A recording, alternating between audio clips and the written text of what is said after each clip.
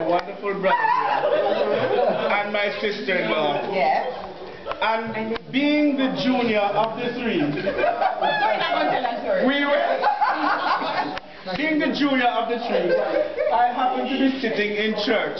Now you know, pastor don't tell lie. So we happened to be sitting in church, and and we were singing. I was singing right next to a couple, and they came back out and they said to pastor. Pastor, I said, go. He said, Pastor, this young man was singing very well. and they said, um, that's such a wonderful little family. Father, mother, and son.